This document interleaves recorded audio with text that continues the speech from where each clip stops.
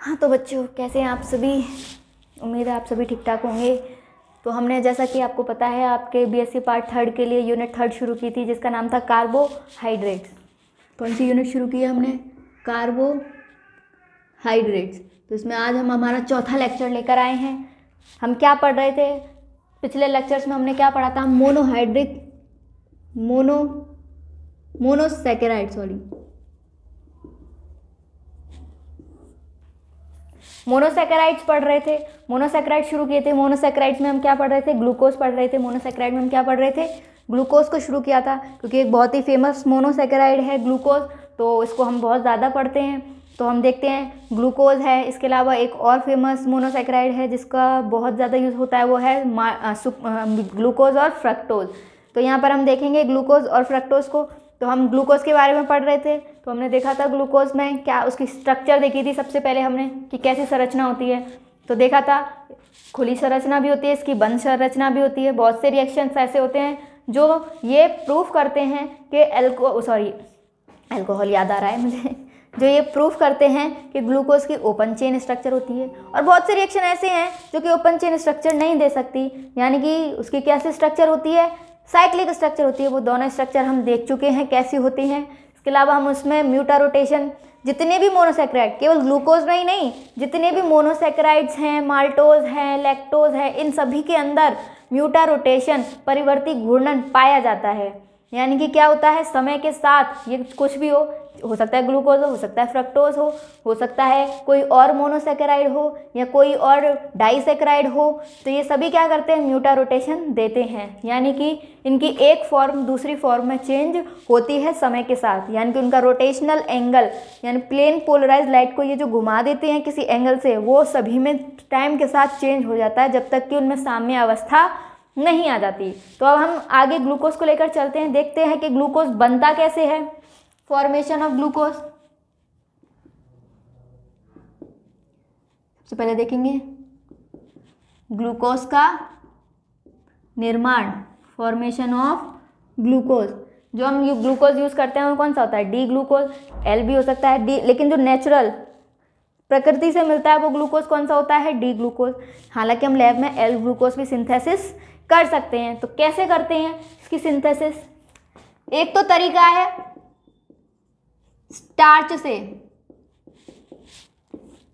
एक तो निर्माण कर सकते हैं हम स्टार्च से। स्टार्च का फॉर्मूला क्या होता है? सी फाइव लास्ट टाइम दिखाया था आपको स्टार्च का फॉर्मूला क्या होता है? स्टार्च का फॉर्मूला होता है C six sorry C six H ten O five क्या होता है?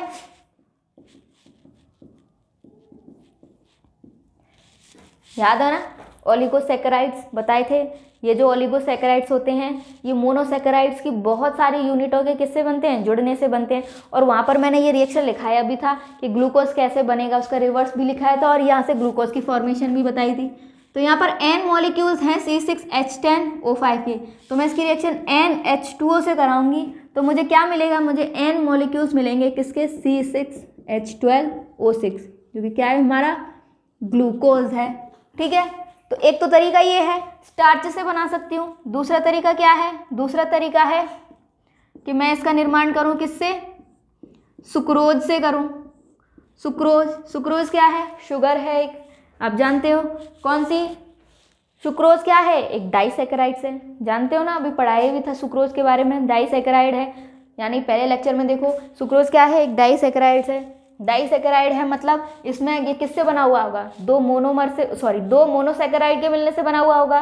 क्योंकि हम ग्लूकोज का फॉर्मेशन करें तो हम कह सकते हैं दो ग्लूकोज के मोनोमर्स आपस में रिएक्ट करके क्या बना रहे होंगे? डाइसेकेराइड का निर्माण कर रहे होंगे। तो ये क्या होता है?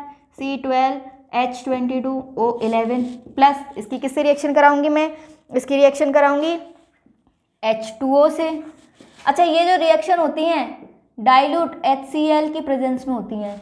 एसिड हमें एक एसिड की भी ज़रूरत पड़ती है यहाँ पर कैटेलाइज करने के लिए रिएक्शन को. तो ऐसे जो हम लेते हैं वो क्या लेते हैं? डाइल्यूट एच ले लेते हैं. ऐसे यहाँ पर यहाँ पर भी हम डाइल्यूट एचसीएल या फिर डाइल हमें एक अम्ल चाहिए डाइल्यूट चाहिए, तनु चाहिए. तो एचसीएल भी ले सकते हैं, या तो फिर हम dilute H two S O four भी ले सकते हैं. तो क्या बनेगा यहाँ पर? Two C six H twelve O six बनेंगे. क्या बनेगा यहाँ पर? दो मॉलिक्यूल बनेंगे C six H twelve O six glucose के। तो इसको बनाना बहुत आसान है रिएक्शन बहुत ईजी है। यही रिएक्शन है जिनसे हम किसका निर्माण कर सकते हैं? ग्लूकोज का। एक्चुअल में ये रिएक्शन क्या है? जल अपघटन रिएक्शन है डाइसेक्राइड और ओलिगोसेक्राइड से। बोला था ना? मोनोसेक्राइड क्या होते हैं? मोनोसेक्राइड्स तो वो होते हैं जिनका खुद का कोई जल अपघटन नहीं होता। तो मोनोसेक्राइड से किसी दूसरे मोनोसेक्राइड से मोनोसेक्राइड तो नहीं बना सकते। लेकिन मोनोसेक्राइड्स के जुड़ने से क्या बनते हैं? डाइसेक्राइड्स बनते हैं, यानी सॉरी क्या बनते हैं? पॉलीसेक्राइड्स बनते हैं ओलिगोसेक्राइड्स बनते हैं। तो ये जो था, ये एक ओलिगोसेक्राइड था, इसका जल अपघटन करा दिया, क्या मिल गया? मोनोसेक्राइड्स मिल गए। यानी कि क्या मिल गया हमें? मोनोसेक्राइड्स मिल गए। जैसे कि ग्लूकोज और भी कुछ मिल सकता है, हम वो तो हम आगे रिएक्शन देखेंगे फ्रक्टोज का भी निर्माण कर सकते हैं, हम कैसे करेंगे वो हम आगे देखेंगे। ठीक है? C twelve H twenty two O eleven starch ये क्या है? डाइसेक्राइड यानी ओलिगोसेक्राइड और डाइसेक्राइड्स का क्या किया? जल अपघटन किया, वहाँ से ग्लूकोज का निर्माण किया। ठीक है? तो अब इसके गुण देखते हैं। सबसे पहले इसके क्या देखेंगे हम? सबसे पहले हम इसके देखते हैं भौतिक गुण फ़िज़िकल प्रॉपर्टीज़ कि ग्लूकोज को हम फिजिकली यानी केवल देखकर कैसे पहचाने कि ये ग्लूकोज है? क्या भौतिक गुण देखते हैं सबसे पहले। भौतिक गुण मतलब कि हमें रिएक्शन ना करना पड़े। बिना रिएक्शन किए हम कुछ ऐसी प्रॉपर्टीज़ होती हैं जिनको देखकर हम बता सकें, एक अंदाज़ा लगा सकें कि ये क्या हो सकता है। तो अगर हम देखें केवल भौतिक गुण में बात करें, अगर ये कैसा दिखाई देता है? ये सफ़ेद कलर का होगा। श्वेत होता है। और कैसा होता है? श्वेत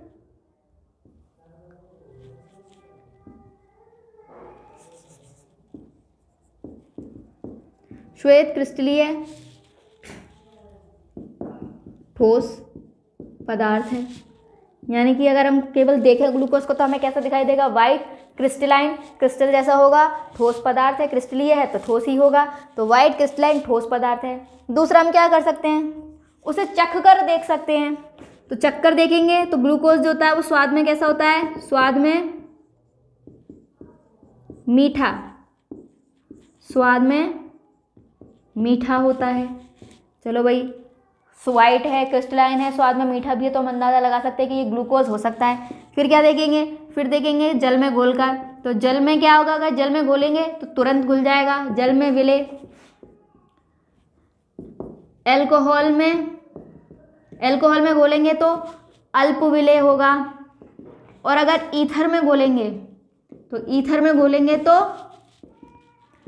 अविलय होगा। चलो ये घोल कर देख सकते हैं। अगर जल में घुला तो मान सकते हैं कि ये क्या हो सकता है? ग्लूकोज हो सकता है। एल्कोहल में अल्पोबिले होना चाहिए और ईथर में तो बिल्कुल घुलना ही नहीं चाहिए। चौथा देखें। चौथा देखें, इसका मेल्टिंग पॉइंट देखें कितना होता है। तो इसका मेल्टिंग पॉइंट जो होता है वो कितना होता है? इसका मेल्टिंग पॉइंट कितना होता है? 146 146 डिग्री सेंटीग्रेड होता है। चौथा, क्या कर सकते हैं हम इसके मेल्टिंग पॉइंट निकाल लें। कि मेल्टिंग पॉइंट देखें, कैसे निकल निकालें मेल्टिंग पॉइंट के लिए एक्सपेरिमेंट लगता है, ठीक है? वहाँ से हम देखें, अगर हमें मेल्टिंग पॉइंट 146 डिग्री मिला तो कंफर्म हो जाएगा कि ये ग्लूकोज है। क्योंकि मेल्टिंग पॉइंट जो होते हैं वो सबके फिक्स होते हैं।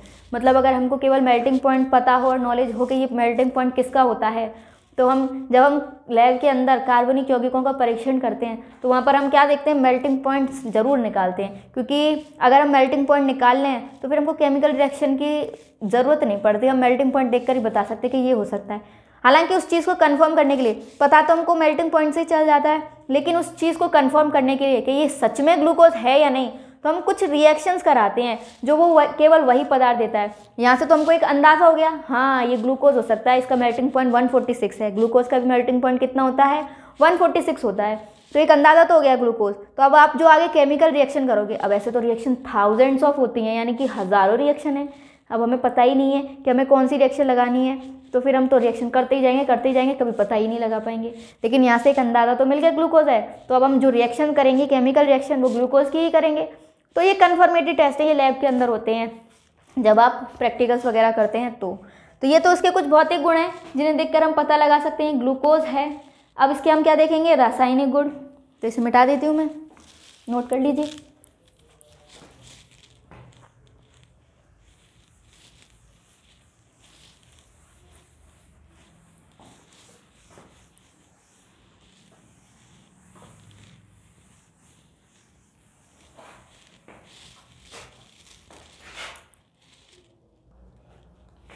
तो अब हम क्या देखेंगे?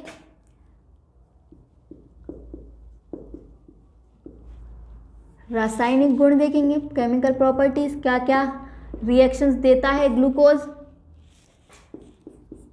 तो अब देखते हैं रासायनिक गुण क्या क्या रिएक्शंस देगा।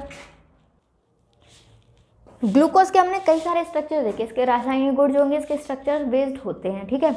मतलब एक ओपन चेन स्ट्रक्चर देखा, खुली श्रृंखला वाला स्ट्रक्चर एक में हमने क्लोज चेन स्ट्रक्चर देगा जिसमें इसकी अल्फ़ा और बीटा फॉर्म होती हैं तो इसके रिएक्शंस पर तो इफ़ेक्ट पड़ेगा ही। तो पहले हम उन रिएक्शंस को लेकर चलेंगे जो ओपन चेन स्ट्रक्चर द्वारा दिए जाते हैं। यानी कि अगर ग्लूकोज का जो ये प्रमाणित करते हैं कि ग्लूकोज का कैसा स्ट्रक्चर होता है ओपन चेन पहले उन रिएक्शंस को देखेंगे, फिर बाद में देखेंगे साइक्लिक वाले रिएक्शंस तो हम अगर ग्लूकोज को देखें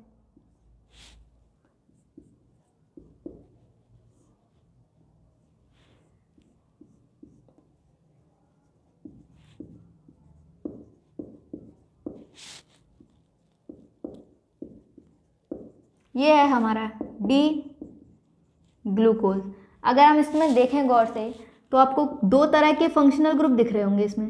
एक तो ये है aldehydic functional group aldehydic functional group और ये है, ये नहीं, ये वाला और ये तीन।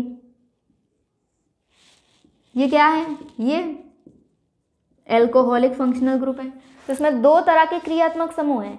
एक एल्डिहाइडिक समूह है और एक है हाइड्रोक्सिल समूह। इसका मतलब ये एल्डिहाइडिक समूह है तो एल्डिहाइड वाली रिएक्शन इनको देनी चाहिए। जो रिएक्शन एल्डिहाइड देते हैं, और अगर हाइड्रोक्सिल समूह है तो इनको वो रिएक्शंस भी देनी चाहिए जो हाइड्रोक्सिल समूह द्वारा दी जाती हैं। तो हम देखेंगे बारी बारी कि कौन सी कौन सी रिएक्शन ये देते हैं। तो सबसे पहले हम शुरुआत ऊपर से करेंगे, यानी एल्डिहाइडिक समूह से। तो देखेंगे, अगर इनमें एल्डिहाइडिक समूह है, होता है यानी ओपन चेन में है और इनके पास एल्डिहाइडिक समूह है। ओपन चेन में ही रहता है एल्डिहाइडिक समूह। जब ये क्लोज बन जाती है, वो क्या बन जाता है? हेमी एसिटल बन जाता है ना फिर तो वो। जो इसकी चक्रीय संरचना होती है, वो तो हेमी एसिटल संरचना होती है। लिखाया भी था पिछली बार, ठीक है? याद होगा आपको। तो यहाँ पर तो एल्डिहाइडिक ग्रुप है। एल्डिहाइड तो तभी हो सकता है जब ये ओपन चेन में हो।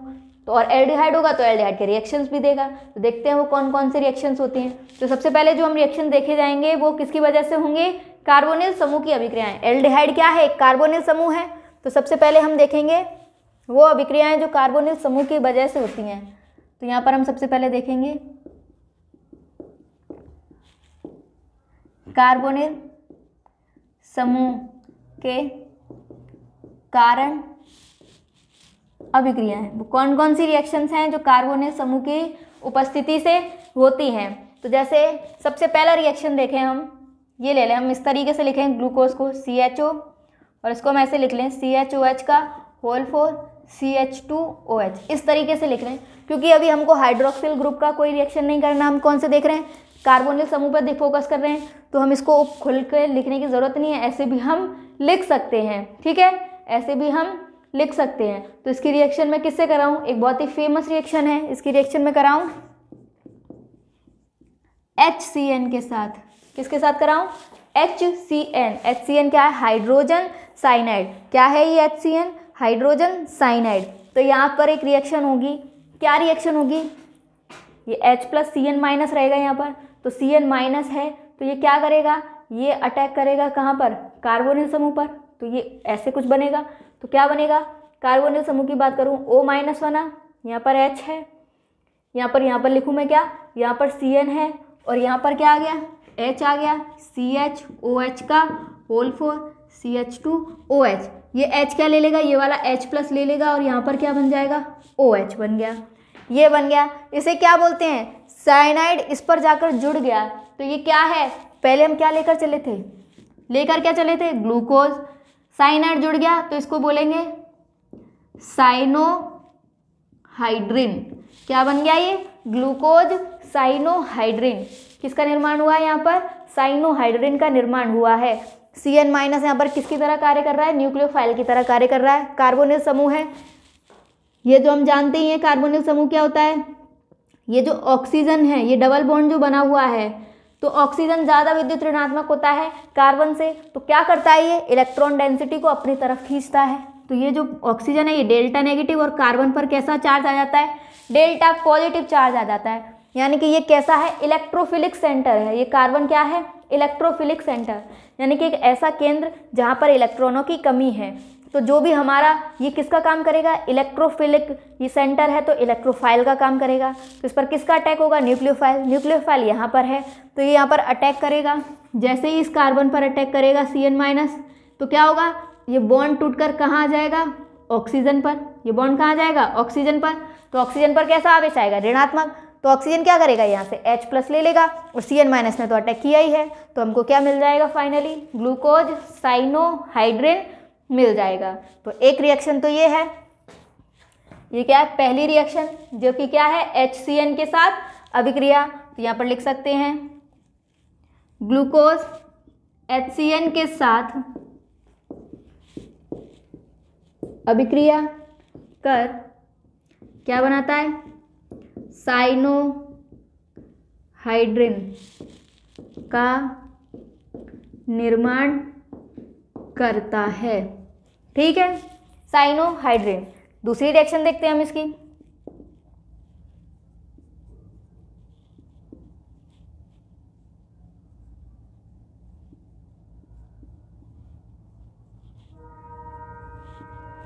ठीक है? अब हम किससे रिएक्शन कराएँगे इसकी? अब हम रिएक्शन कराएँगे इसकी NH2OH के साथ हाइड्रोक्सिल अमीन के साथ। किसके साथ रिएक्शन कराएँगे? हाइड्रोक्सिल अमीन हाइड्रोक्सिल अमीन क्या होती है? हाइड्रोक्सिल अमीन होती है NH2 या फिर मैं इसको ऐसे बनाऊँ। चलिए ऐसे ही बना देती हूँ NH2OH ये क्या है हमारी? NH2OH हाइड्रोक्सिल अमीन है। ऐसे लिखती हूँ। ज़्यादा बेटर रहेगा, जब मैं समझाऊँगी तो। हाइड्रोक्सिल अमीन इसका नाम क्या है? ये है हाइड्रोक्सिल अमीन अमीन ठीक है? हाइड्रोक्सिल अमीन है। अगर तुमको यहाँ दिख रहा हो रिएक्शन होती है इसकी, वैसे मैं बताऊँगी रिएक्शन कैसे होती है मैकेनिज्म दिखाऊँगी। लेकिन अगर शॉर्ट में देखूँ तो नाइट्रोजन पर दो हाइड्रोजन जुड़े हुए हैं और कार्बोनिल पर क्या है? ऑक्सीजन तो यहाँ से क्या बाहर निकल जाता है? यहाँ से ये H2O बाहर निकल जाता है। क्या हो गया? H2O बाहर निकल गया। और क्या बन जाएगा? कार्बन के डबल बॉन्ड से क्या जुड़ जाएगा? NOH जुड़ जाएगा। यहाँ पर H, बाकी सब कुछ वैसा ही रहेगा। Sorry C H O H का whole four C H two O H ठीक है? क्या हुआ? एच टू ओ बाहर निकल गया। और उसकी जगह कौन जुड़ गया? डबल बॉन्ड ओ था। उसकी जगह कौन जुड़ गया? नाइट्रोजन जुड़ गया। Double bond N O H और ये जो समूह होता है, ये जो समूह है, इसी को क्या बोलते हैं? ऑक्साइम बोलते हैं। ये हमने क्या लिया था? ग्लूकोज लिया था। तो ये क्या बन गया? ग्लूकोज ऑक्साइम बन गया। क्या बन गया? ग्लूकोज ऑक्साइम क्या बन गया? ग्लूकोज ऑक्साइम या फिर हिंदी में तुम बोलते हो ऑक्जिम क्या बन गया? ग्लूकोज ऑक्जिम बन गया। अब अगर इसका मैकेनिज्म देखें, मैं ये ऊपर वाला मिटा देती हूँ।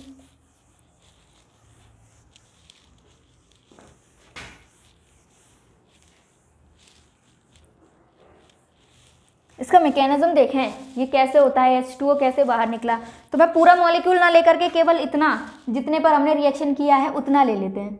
ये है हमारे पास। ये जो पूरा ग्रुप है, इसको मैंने आर मान लिया। जो बाकी बचा हुआ ग्रुप है, इसको क्या मान लिया मैंने? ये जो ग्रुप है, इसको क्या मान लिया मैंने? आर मान लिया। तो ये आर है, बचा हुआ क्या है? सी एच ओ एल्डिहाइड बचा हुआ है, और ये बाकी के ग्रुप को आर मान लिया। मुझे इसकी रिएक्शन इससे करानी है N H two O H के साथ। तो हम जानते हैं नाइट्रोजन के पास क्या है? लोन पेयर है इलेक्ट्रॉन डेंसिटी है, और ये जो बॉन्ड होता है पोलर होता है, ये delta minus delta plus oxygen क्या करता है? इलेक्ट्रॉनों को अपनी तरफ़ आकर्षित करता है। तो यहाँ पर क्या होगा? ये डेल्टा माइनस रहता है, और ये वाला सेंटर डेल्टा प्लस रहता है तो नाइट्रोजन अपने लोन पेयर के साथ यहाँ अटैक करेगा। ये बॉन्ड ऊपर चला जाएगा। ठीक है? क्या बनेगा? क्या बनेगा यहाँ पर? यहाँ पर बनेगा आर सी ओ माइनस और यहाँ पर क्या? ये एच आ गया, और मैं इसको ऐसे लिख दूँ।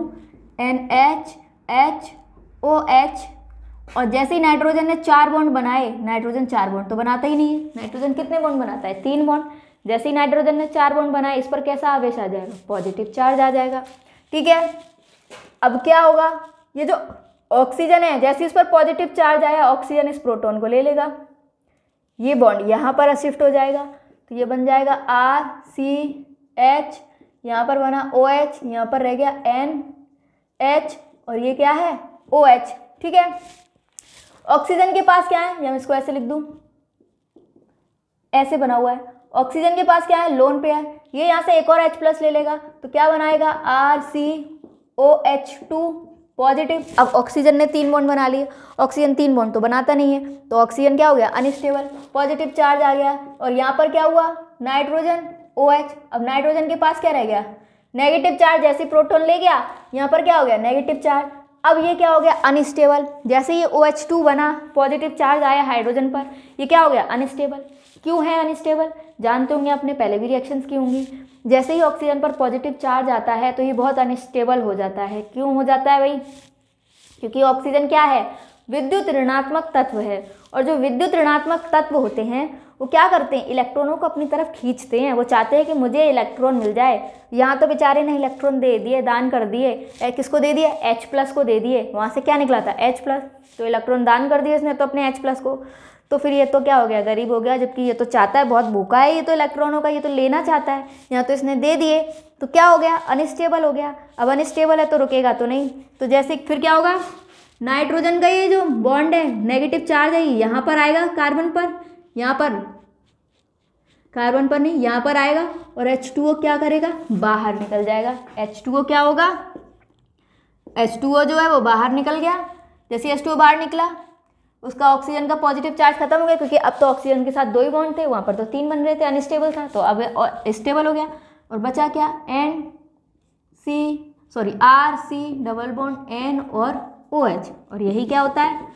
ऑक्जाइम तो इस तरीके से जो ऑक्जाइम है, उसकी फॉर्मेशन होती है। इस तरीके से ऑक्जाइम बनता है। ठीक है? आगे रिएक्शंस देखते हैं। नोट कर लीजिए, समझ में आ गई होगी?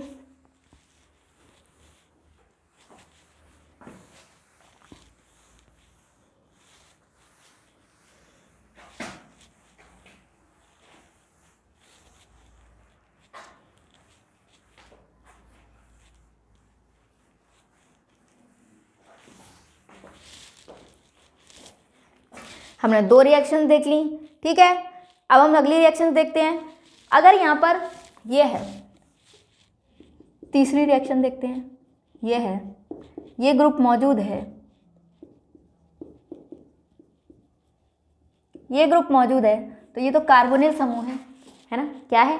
कार्बोनिल समूह है, और कार्बोनिल समूह का तो हम अपचयन करा सकते हैं, है ना?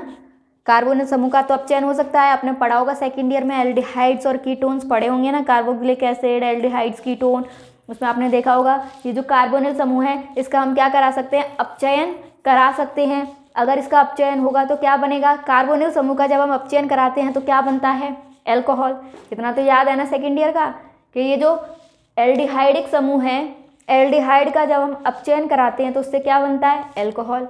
और अगर हम एल्कोहल का ऑक्सीकरण कराते हैं तो क्या बनता है? एल्डिहाइड। तो इसका अपचयन कराएँगे। अपचयन के लिए क्या करना पड़ेगा? कोई अपचायक यूज़ करना पड़ेगा। ऐसा रिएजेंट यूज़ करना पड़ेगा जो अपचायक हो। और अपचयन के लिए हम क्या क्या यूज़ करते हैं?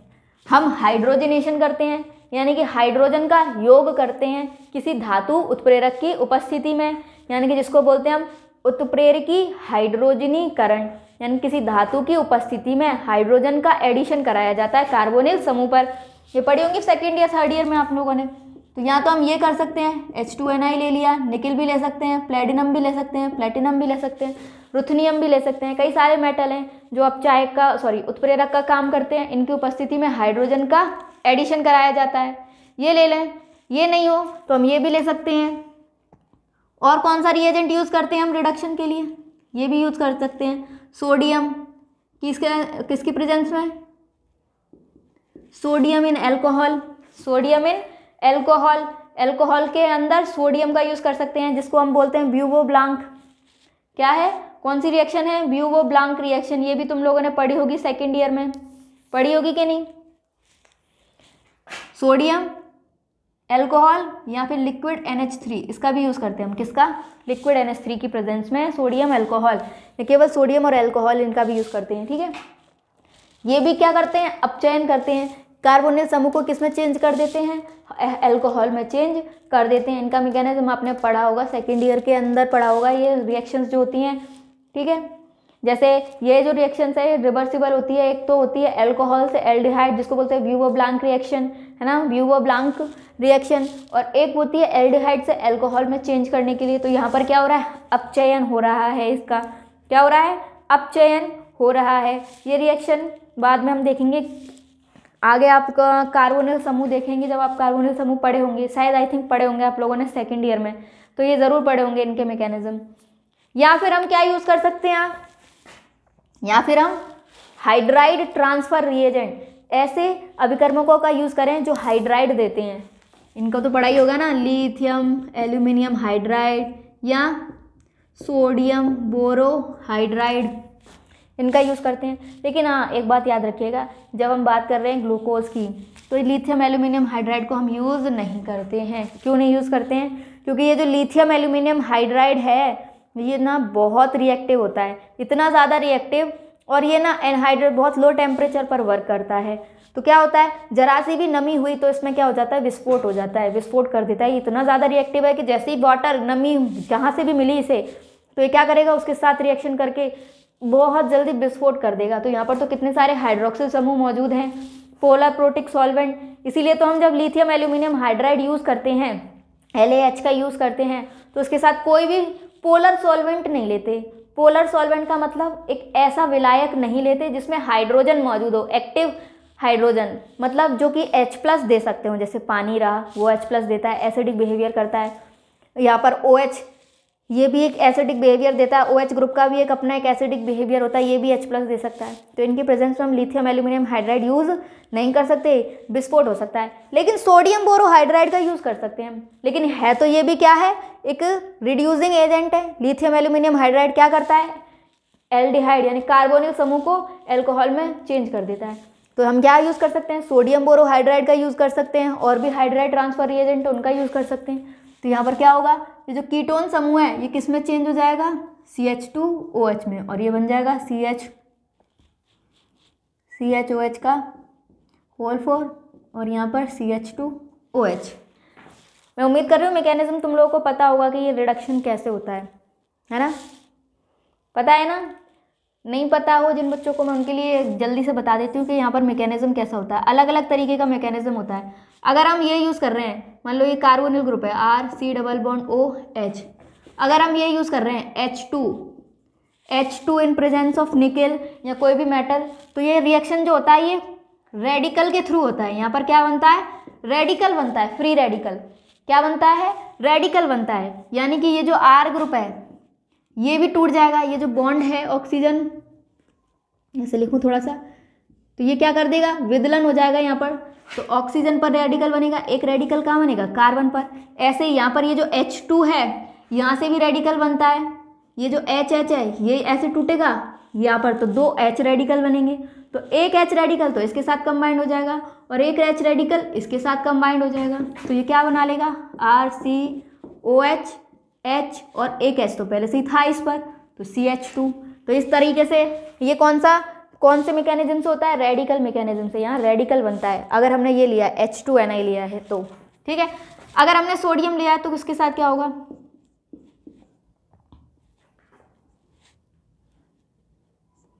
ये है।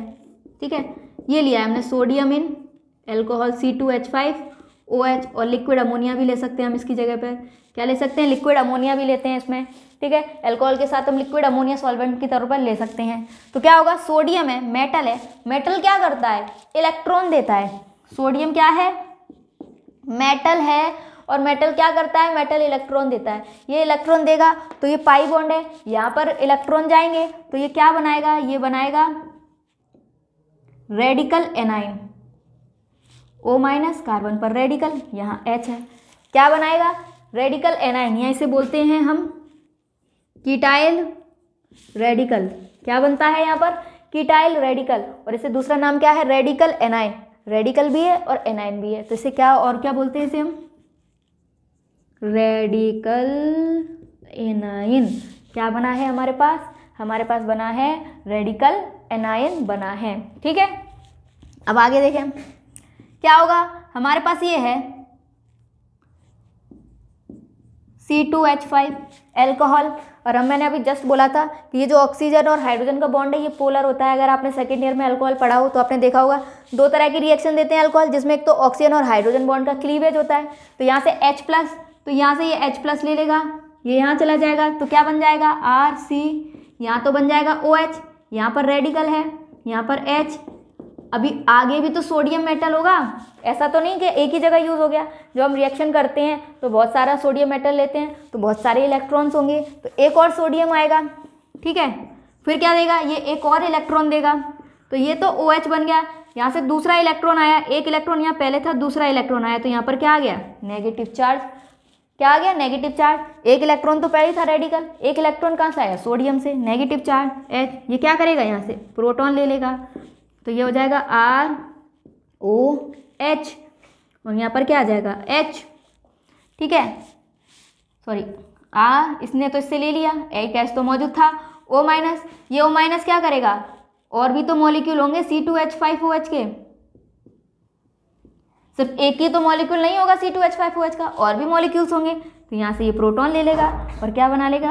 R C H two O H इस तरीके से मैकेनिज्म होती है। तो ये बनाता है फ्री रेडिकल अगर ये वाला रिड्यूसिंग एजेंट ले रहे हैं तो फ्री रेडिकल के थ्रू जाएगी मैकेनिज्म ये वाला ले रहे हैं तो किटाइल रेडिकल बनता है इंटरमीडिएट और अगर तीसरी देखें हाइड्राइड ट्रांसफ़र रिएजेंट देखें सोडियम बोरोहाइड्राइड के साथ तो क्या होगा?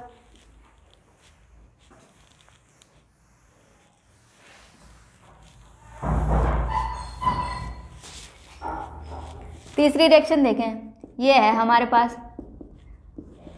ये लिया है हमने सोडियम बोरो हाइड्राइड इन इसके साथ या तो एम ई ओ एच लेते हैं या ई टी ओ एच यानी कि जब भी सोडियम बोरोहाइड्राइड यूज़ करते हैं तो इसके साथ कोई ना कोई पोलर सॉल्वेंट हम लेते हैं। क्योंकि ये जो सोडियम बोरोहाइड्राइड है, जैसे लिथियम एल्यूमिनियम हाइड्राइड बहुत ज़्यादा रिएक्टिव होता है ना, वैसे सोडियम बोरोहाइड्राइड बहुत कम रिएक्टिव होता है, यानी कि इसकी रिएक्टिविटी बहुत कम है। तो इसकी रिएक्टिविटी को इन्हेंस करने के लिए प्रोटॉन देने के लिए ये भी यूज़ होता है इथाइल एल्कोहल या मिथाइल एल्कोहल तो क्या होगा? यहाँ पर बी एच ये होता है। रिएक्शन तो यहाँ से होगा। सोडियम से कोई लेना देना नहीं है रिएक्शंस तो यहाँ से होगा। क्या होगा? बोरॉन पर नेगेटिव चार्ज है है ना? ये नेगेटिव चार्ज रियल चार्ज नहीं होता। ये क्या है? केवल एक फॉर्मल चार्ज है। क्या है? केवल एक फॉर्मल चार्ज है तो ये कोई रियल चार्ज नहीं है, यानी कि इसके पास कोई बहुत ज़्यादा इलेक्ट्रॉन डेंसिटी नहीं आ गई केवल एक फॉर्मल चार्ज है, दिखावा है, यानी कि कोई गरीब इंसान है, बहुत गरीब, और उसके पास थोड़े से पैसे आ जाएँ तो क्या करने लगता है? दिखावा करने लगता नहीं भाई, मैं तो बहुत पैसे वाला हूँ, बस यही है इसके साथ कि ये दिखावा कर रहा है। भाई, मेरे पास तो बहुत इलेक्ट्रॉन डेंसिटी है, और इस दिखावे दिखावे में क्या करता है? ये जो एच माइनस ट्रांसफ़र करता है, यहाँ से क्या निकलता है? एच माइनस एच माइनस को क्या बोलते हैं हम? हाइड्राइड ये क्या देता है? हाइड्राइड देता है। तो H माइनस क्या करेगा? अपने पूरे इलेक्ट्रॉन लेकर यहाँ अटैक करेगा। ये ऊपर जाएगा। तो ये क्या बनाएगा? ये बनाएगा आर सी ओ माइनस और यहाँ पर क्या है? H माइनस ने अटैक किया। एक H यहाँ मौजूद है। ये जैसे ही H माइनस देगा तो ये क्या बन जाएगा? बी एच थ्री बन जाएगा। जैसे इसने H माइनस ट्रांसफ़र कर दिया, जैसे ही इसने H माइनस ट्रांसफ़र कर दिया तो यहाँ पर क्या बन गया? बी एच थ्री बन गया। बी एच थ्री क्या होता है? कितने इलेक्ट्रॉन है इसके पास? सिक्स इलेक्ट्रॉन लो, फिर कटोरा लेके खड़ा हो गया ये। अभी तो दिखावा कर रहा था कि बहुत अमीर है। अब कटोरा लेके खड़ा हो गया क्योंकि इसके पास इलेक्ट्रॉन है नहीं, कमी हो गई। लेकिन ऑक्सीजन पर तो नेगेटिव चार्ज आया। तो ऑक्सीजन क्या करेगा? इसके साथ बॉन्ड बना लेगा। उसके बाद ये क्या करेगा? ऐसे ही क्या करेगा? दूसरे अल्कोहल का रिडक्शन करेगा। सॉरी दूसरे मॉलिक्यूल का रिडक्शन करेगा। क्योंकि इसके पास चार हाइड्राइड हैं। तो चार मॉलिक्यूल्स का रिडक्शन कर सकता है। तो मैं सारे स्टेप नहीं ले रही, क्योंकि आप लोगों ने पढ़े होंगे सेकेंड ईयर थर्ड ईयर में, क्या है, पहला मॉलिक्यूल जुड़ेगा, दूसरा जुड़ेगा, तीसरा जुड़ेगा, तब जाके एंड में ये अल्कोहल से प्रोटॉन ले लेगा। तो मैं डायरेक्ट रिएक्शन करा दे रही हूँ कि यहाँ पे क्या आया? ओ माइनस ओ माइनस क्या लेगा? यहाँ से प्रोटॉन ले लेगा और क्या बन जाएगा? ये बन जाएगा R C H two O H तो इस तरीके से हम कोई सा भी हाइड्राइड ट्रांसफ़र रिएजेंट ले सकते हैं और इसका रिडक्शन, अपचयन करा सकते हैं किसमें? एल्कोहल में। तो इस तरीके से रिएक्शन होता है, अपचयन होता है। आगे देखते हैं रिएक्शन। तो यहाँ पर क्या बनेगा? यहाँ पर बनेगा O H C H two O H ये तो था ही सी एच ओ एच का होल फोर और यहाँ पर C H two O H तो एल्को वो एल्डिहाइडिक ग्रुप का कन्वर्जन किसमें हो गया? किसमें हो गया? एल्कोहलिक ग्रुप में हो गया। और ये जो बना है, इसको क्या बोलते हैं? जानते हैं? क्या बना है ये? भी तो कुछ बना है, इसका भी तो कुछ नाम होगा। ये जो बना है, इसी को बोलते हैं हम सॉर्बिटॉल क्या बन गया ये? ग्लूकोज से किसका निर्माण हो गया? सॉर्बिटॉल का निर्माण हो गया। ये जो बना है, इसे क्या बोलते हैं हम? इसे बोलते हैं हम सॉर्बिटॉल क्या है? सॉर्बिटॉल और देखते हैं क्या क्या रिएक्शन देता है ये?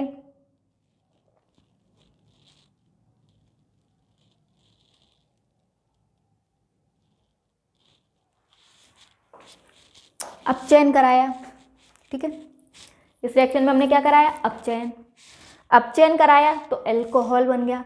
लेकिन अभी तो एक एल्डिहाइडिक समूह ही तो है। क्या है? एल्डिहाइड ही तो है। और एल्डिहाइड तो आगे भी ऑक्सीकृत हो सकते हैं। ऐसा तो नहीं कि यहीं पे आकर ऑक्सीकरण रुक जाएगा। यहाँ से आगे कोई बढ़ेगा ही नहीं। नहीं भाई, ये आगे भी ऑक्सीकृत हो सकते हैं। और क्या बना सकते हैं? R C O O H carboxylic acid. तो अगर कोई एल्डिहाइड है, उसका आगे भी ऑक्सीकरण कर सकते हैं कार्बोक्सिलिक एसिड बना सकते हैं। तो ग्लूकोज में भी तो एल्डिहाइडिक समूह होता है तो क्या उसका भी हम ऑक्सीकरण कर सकते हैं? बिल्कुल कर सकते हैं। तो अगली रिएक्शन हम देखेंगे।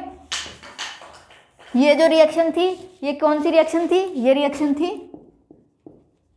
अपचयन। कौन सी रिएक्शन थी ये? अपचयन। अब हम देखेंगे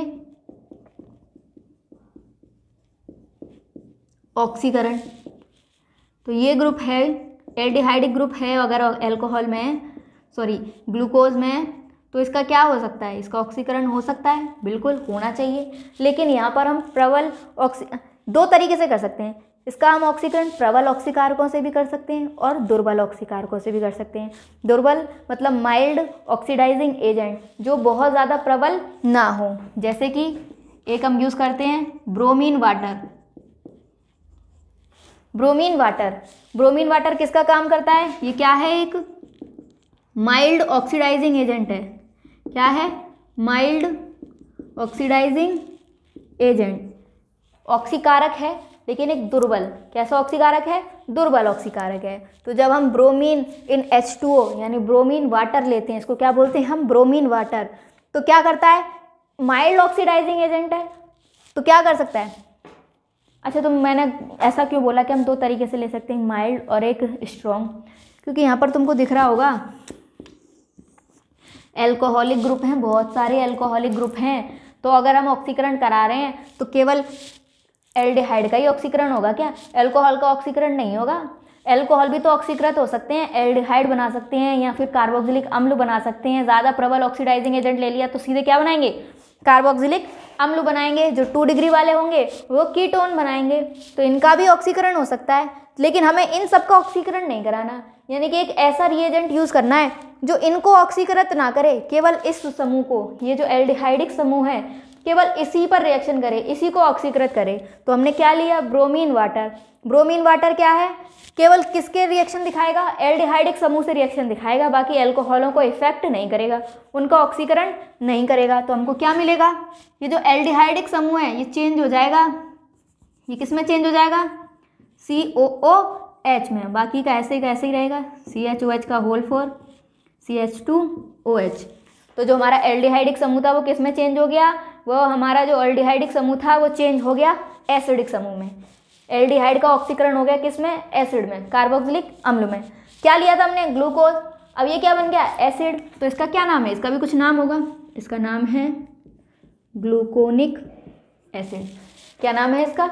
इसका नाम है ग्लूकोनिक एसिड। क्या बनाया ये? ग्लूकोनिक एसिड बन गया। चलो अगर हम माइल्ड ना लें, कोई स्ट्रॉन्ग ले लें तो फिर क्या होगा? देखते हैं आगे क्या होगा। अगर हमने कोई स्ट्रॉन्ग ऑक्सीडाइजिंग एजेंट लिया है